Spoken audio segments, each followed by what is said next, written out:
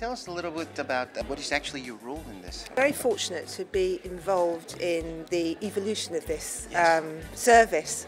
Uh, my day job, my role, um, is I'm one of a team of four um, working with Innovate UK, who are the coordinators for England, Northern Ireland and Wales Enterprise Europe Network.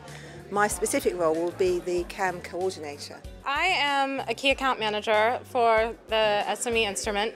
So what I really bring to the CoachCom team is the voice of the SMEs that I'm working with. Um, you know a little bit about CoachCom, it's building the community of coaches as well as CAMs from the EEN, making sure everybody's working together with the shared goal of supporting the SME.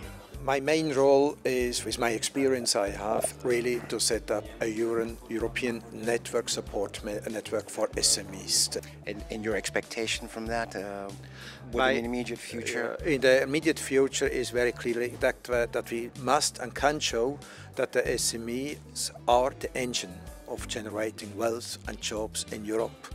And if we want to generate jobs, we have to go with the SMEs.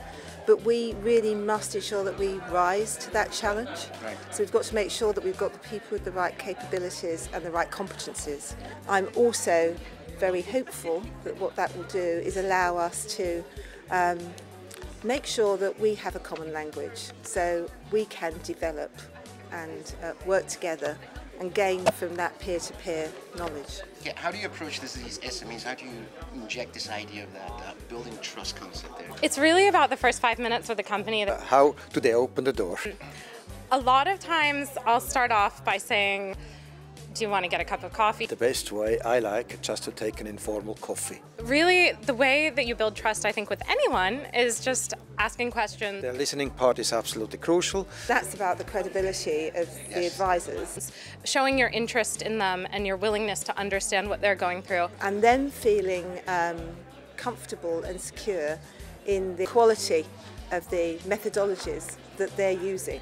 And then out of listening, of course, in the back, in your head, you are modeling. You are modeling the situation of the company. The more interested you are in their company and their product, they're there, they want to talk about it. They're the best entrepreneurs in Europe.